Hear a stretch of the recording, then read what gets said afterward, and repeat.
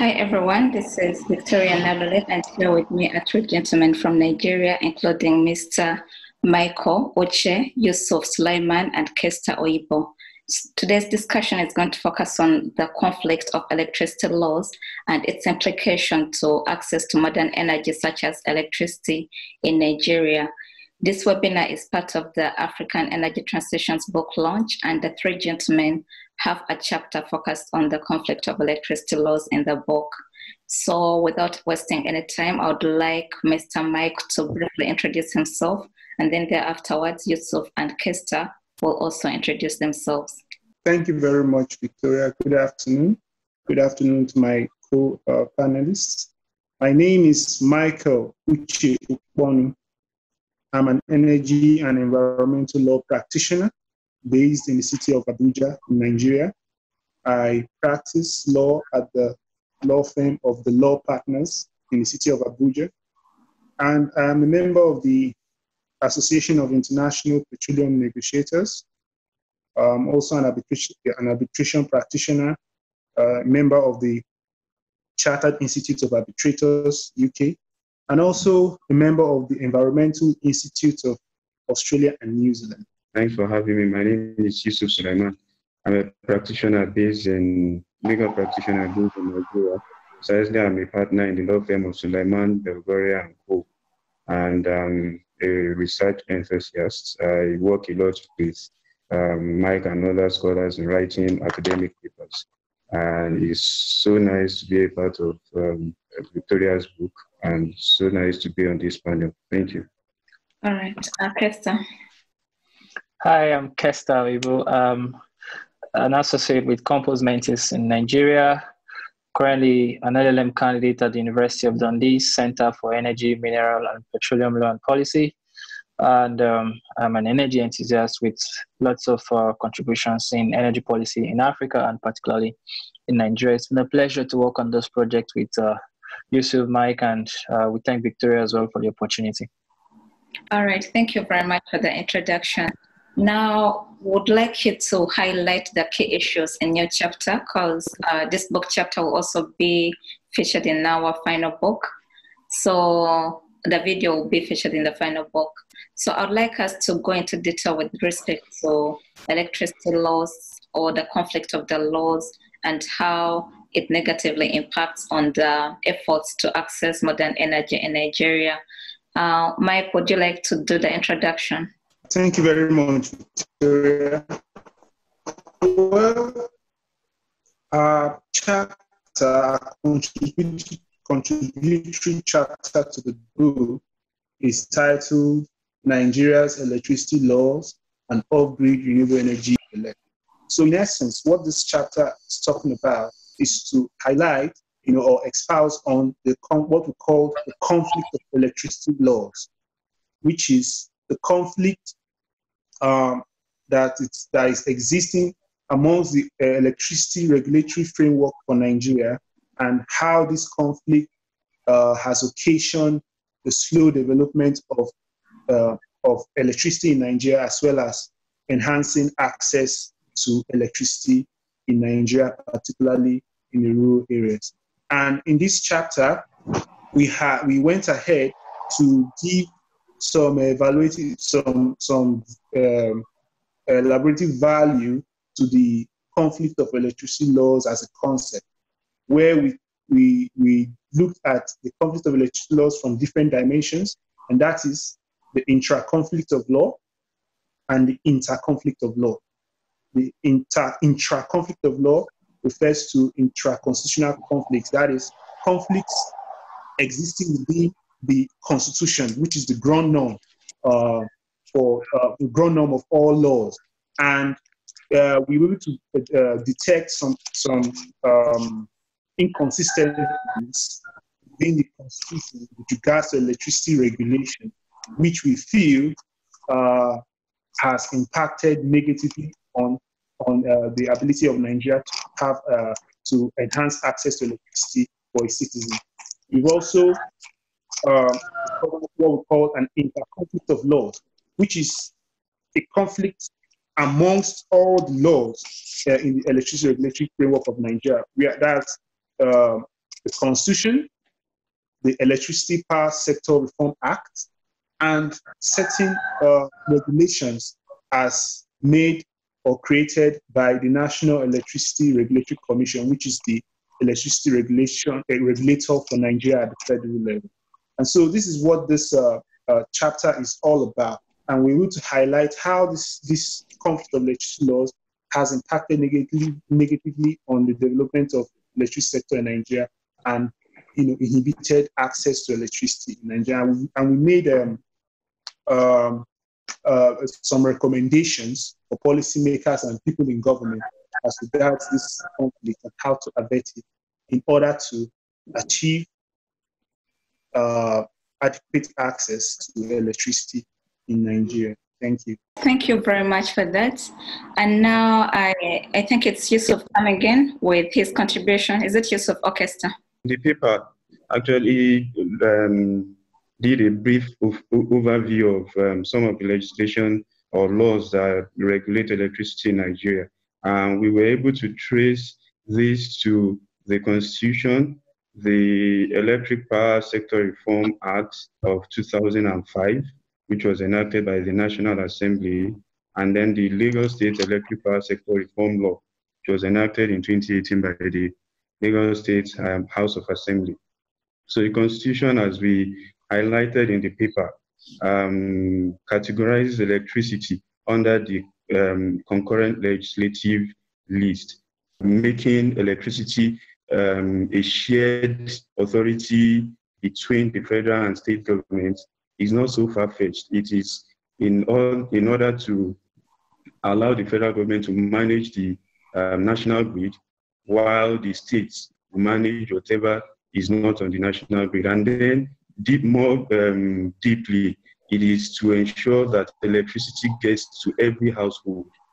Because if only the federal government is allowed um, to legislate on this and manage and regulate electricity under the exclusive list, it will mean that it may be impossible to um, obtain uniformity in terms of regulation across the country.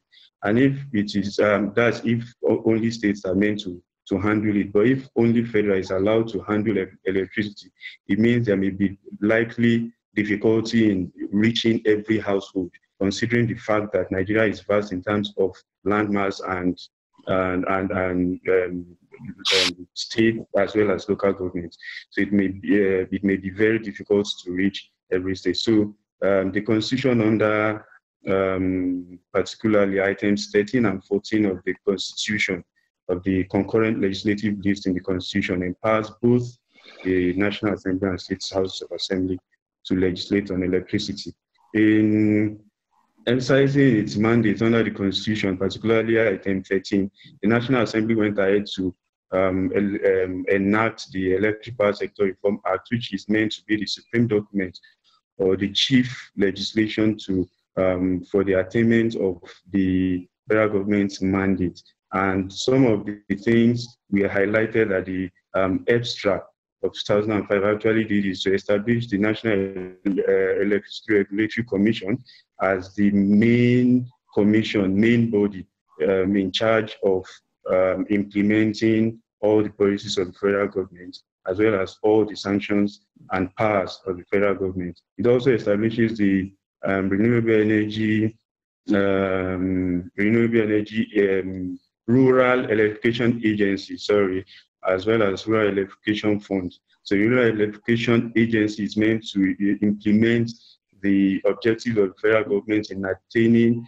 sufficient electricity through both on and off, off, off grid sources. It also empowers the um, commission, the National uh, Electricity Regulatory Commission, to make regulations, and this is very important, to make regulations in, um, in the exercise of its functions. And in exercising this, in, um, this power, the um, Commission um, has um, enacted several um, regulations, but uh, some of them are so important and far-reaching when it comes to achieving energy sufficiency, especially off-grid electricity.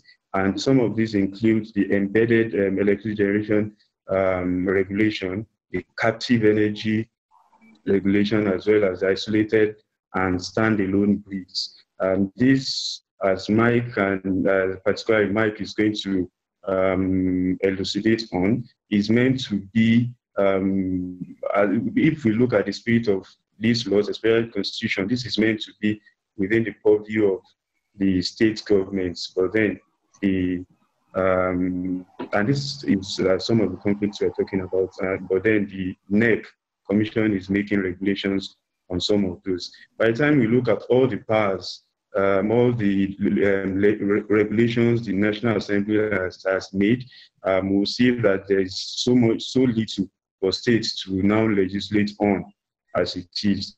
Meanwhile, we observe that states actually are supposed to be the, the driving wheel of um, energy sufficiency in Nigeria. Chris, Mike and, and Kester are going to talk more on this. Um, but then one state has gone ahead um, to, to legislate, to make a, uh, to enact a particular legislation is Lagos State. And this is the Lagos State um, Power Sector Reforms Reform Law. This came very um, so, um, not too long ago in 2018. And this is meant, the law is meant to boost electricity um, generation, transmission, and distribution within within Lagos State. And um, as, as, as far as it is not on the national national grid, also establish a board. Um, um, Lagos. Yusuf, I think we've lost you. Yes. Um, so, so I was I was trying to say that um, uh, in addition to all this um, legislation, there is there are also some policies that, that are relevant when it comes to this sector, the electric sector in Nigeria, and um, some especially for renewable energies. And some um, some of them are the um, Nigerian Renewable um, Energy and Energy Efficiency Policy. Um, which this is meant to guarantee energy efficiency in Nigeria, basically, and also the economic um, recovery and growth plan of, uh, of, of, the federal government, which um, also uh, tries to improve energy efficiency and tries to consolidate on the NREP of, of Nigeria. So basically, these are these are the legislation relevant when it comes to energy regulation in Nigeria, and these are uh, basically what we discussed um, in the paper, uh, particularly our chapter. All right, thank you. So I understand, Mike, you're going to come in with more uh, contribution with respect to that chapter, and then Kester will be making the concluding remarks and then I'll ask a few questions with respect to the book, the, the general theme of the book. Yes, uh, what I just wanted to uh, highlight briefly is what we actually mean by giving with the right hand and taking back with the left. Uh, by that, the meaning and context of that uh, sentence is that while the federal government is allowed by the Constitution to promote and regulate electricity.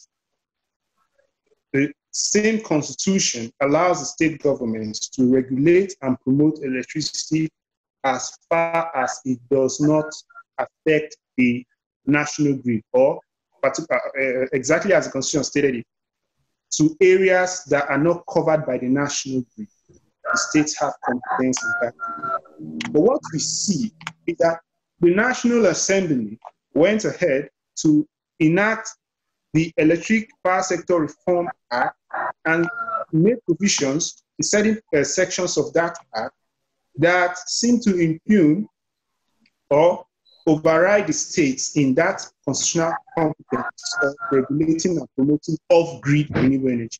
Because any electricity that is not covered by the national grid, as far as constitution is concerned, the way we understand it, it means the states have competence to regulate and promote electricity. That's off-grid electricity. So, but we've, we've realized that the, the Electricity Power Sector Reform Act has made provisions on off-grid electricity, which we feel is uh, unconstitutional. The electricity regulator, that is the National Electric Regulatory Commission, went ahead to even make certain regulations uh, with reference to the, the um, embedded power um, generation, captive power uh, generation, independent electricity dis- distribution networks, and even mini grid regulations, which we feel are generally under the purview of the state. So, in essence, the Electric Power Sector Reform Act has taken away or proposed to take away the powers has given by virtue of, and so that's actually the crux of our chapter and uh, as to the um, amendment of the Constitution, particularly uh, paragraph 14 of the concurrent legislative and even the Electric Power Sector Reform Act, which is uh, contained uh, in details in our paper. So that's the crux of, of our main argument. Thank you. All right. Uh, thank you very much for that. Now I'll call upon Kester to make the concluding remarks and also highlight his contribution with respect to that chapter. Thank you, Victoria. Um, Yusuf and Michael has set the tone already for me to go further to discuss the legal and governance perspectives of all that has been highlighted with regards to the Nigerian uh, electricity uh, industry. Um, as noted, we have highlighted some intra-conflict and inter-conflict between the laws, regulations, and governance systems that exist in the supply industry. And uh, I will be speaking directly to how this affects the growth of off-grid investments that would ordinarily ensure uh, sufficient energy security in the supply industry in Nigeria. Uh, it's been highlighted in a number of uh, publications and uh, news highlights as well to the effect that uh, a good number of Nigerian citizens, industries, and manufacturers rely on independently generated power with use of diesel generators and that to generate power for themselves at a very high cost. Um, we believe that if all of these resources can be put together and government gets its act together in the regulatory system and governance approach, a lot of this uh, cost can be put down and uh, power will be made available through off-grid solutions and mini-grids as well. Uh, we also in that chapter try to look at what some jurisdictions have done and uh, what the approach should really be. Do we have separate uh, systems for off-grid? Do we have it integrated in the entire supply industry regulatory uh, framework?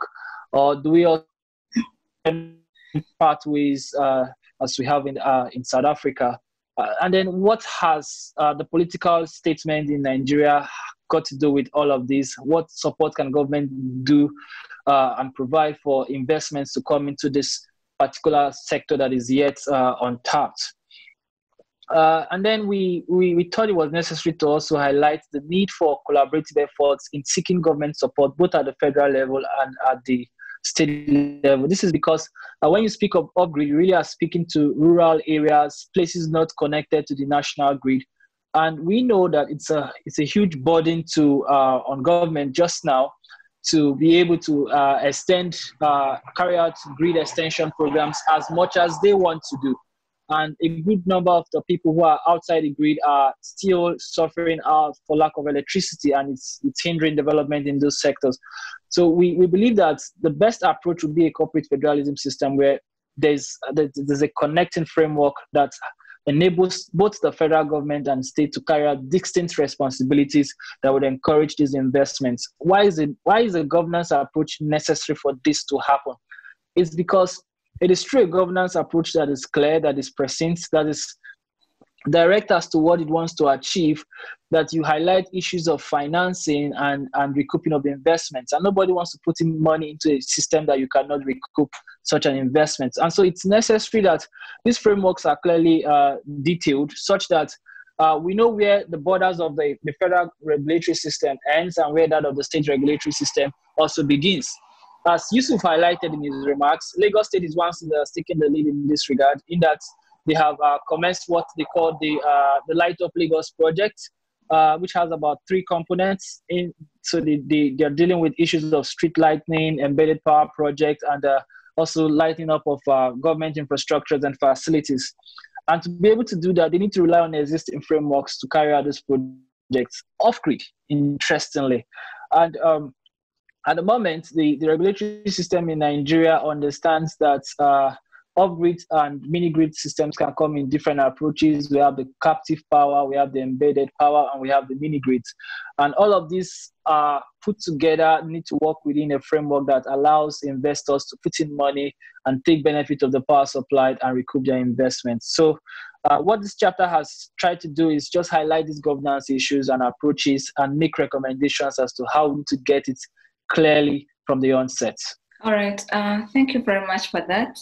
I'll just raise a few questions with respect to the general theme of the book, which is energy transitions in Africa. So uh, I understand like your chapter is mostly more on analyzing the conflict of electricity laws, but also electricity, it's a form of modern energy, which most African countries are advocating for in order to tackle the challenge of energy access and also in order to transition to a low carbon economy in a way that we are sure that people will have access to electricity.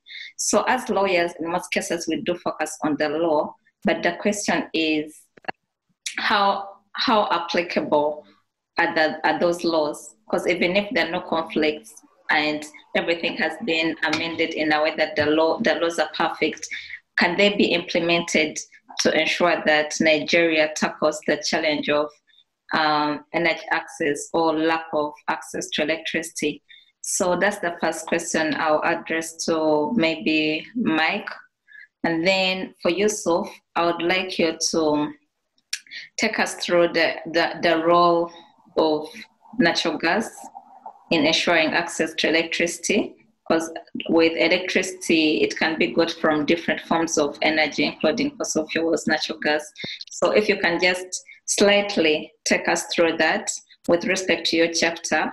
And, and then for Kester, in the conclusion, you said you've made certain recommendations to the policymakers. So I'd like you to highlight some of those recommendations that you highlight in your in your chapter so that the Nigerian policymakers or even African policymakers can be able to learn from a few of those things and ensure that uh, their people have access to electricity. So I'll start with you, Michael. Well, a careful read of our chapter will reveal to one the argument that that okay, what we're basically saying is that the fact that there, there's a conflict of electricity law does not mean that there is an underdevelopment or no development of the electricity sector. What we are seeing is that the conflict of electricity law, laws is responsible for the slow de- development of the electricity sector. And the slow development is quite significant because as more as the population is increasing, there's an increase of uh, increase in the demand for electricity. And so the laws are applicable in their present status, yes.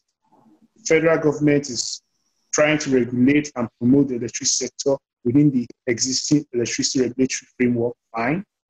But the fact that the states are not involved in the scheme of things, they do not have their skin in the game when it comes to regulating and promoting electricity, is and access to electricity in Nigeria. So the more the population increases, the more the pressure is on the federal government to meet the electricity demand, which is struggling seriously to because the states are not, not allowed to perform their constitution. So apart from that, yes, there's also, there's also a need for a few amendments here and there to make uh, a clear uh, and express amendment to the fact that the states should be allowed to regulate and promote off-grid electricity. Because the manner in which it's couched within the constitution uh, leaves a lot of room for different kinds of uh, interpretations or, or, expressions of views, which may not be in tandem with the uh, intent of the drafters, which we believe as authors in that in our chapter that the intendment of the of the drafters of the constitution with respect to electricity regulation is that the states will be allowed to uh, regulate off-grid electricity. And regulating off-grid electricity does not mean generally only, rather, that uh, uh, the states be involved in some off-grid renewable energy, you know, some captive kind of system. The states can be allowed to even have their own state grids. That is off grid, which is off the national grid. The states can, uh, um, can embark on their own state grid uh, projects or captive projects in some community or in some uh, industrial cluster or set. So that's our, our, argument basically. In a nutshell, it is not that the present uh, state of the law is unapplicable or is not having, um, yeah, that, that is unapplicable. What we are saying basically is that it's not having the desired effect because the states are not allowed to have uh, a, a share of, of, of, the regulation and the promotion of the electricity in Nigeria. Uh, thank you very much for that, Michael. So, in a sense, like the laws um, applicable, but however, the conflicts make it uh, hard, or they are slowing down the efforts to ensure that all the Nigerians have access to electricity. That's a very good point exactly. our viewers to exactly. take note of. Then I'll get back to you, Yusuf, because last time we had many people asking uh, about the issue of the role of natural gas, and I know uh, with the estimates, current estimates, they show that the the gas that is maybe being flared in Nigeria is capable of electrifying the entire Nigerian region the entire ECOWAS region. If you could just kindly highlight just a few things briefly. The, the driver for um, energy sufficiency in Nigeria actually is going back to get right our laws these laws are there. I mean, there are so many um, sources. There are people in Nigeria, both um, governments and both federal government, um, state government, and even private um, investors investing in different forms, various forms of um, energy sources in Nigeria, like um, uh, natural gas, like hydro, where hydro is very expensive, so usually it's, is, is, is the government. But then you see even biogas, and um, people converting waste and then looking at the possibility of turning them into, into electricity.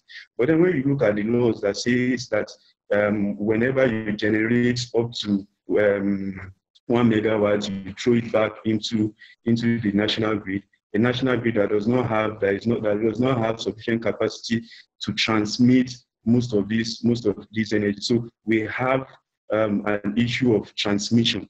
So if, if you have up to, let's say, 10,000 megawatts, it's, you will have, will have a problem of moving this electricity to um, to end users. So even whether whether we, we tap into natural gas, which is in abundance, whether we tap into um, all these biogas and biofuels, which is in abundance, looking. I think we've lost you again, Yusuf.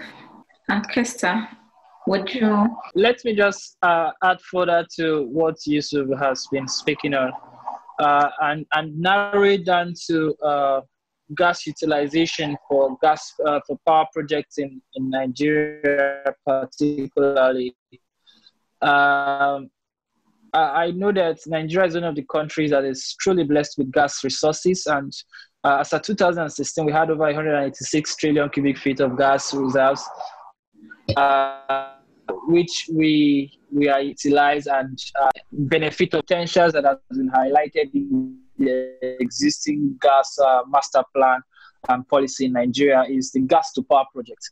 And um, the aim of that policy is generally to grow uh, gas utilization for power generation uh, very, very much high above as, uh, as uh, more than what we have today. And um, that has seen a number of gas uh, gas power plants being installed. Um, uh, to an extent, uh, integrating gas gas turbines into existing steam turbines as we have them now, and um, uh, to a large extent, the problem has always rested on um, infrastructure, really, uh, more than uh, the contributions of uh, regulations and laws to gas utilization. It has always been more existing infrastructures, moving gas from point A to point B, and uh, and uh, uh the the, the uh, issues of security around the region as well. So, um, as Yusuf was stating, we need to do more with our laws to tighten up the physical systems in gas utilization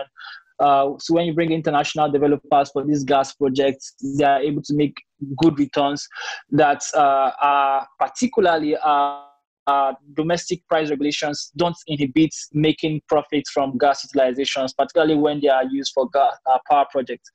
But as you know, uh, it is something that is that is, is is common in the entire power sector, which is that when you generate power, you want to be able to get back returns for it. But what we have seen in the past is that it, the structure of the power industry is such that generators generate power. There's a bulk purchaser who then sends to the distributors, and distributors on the long run are having issues of liquidity.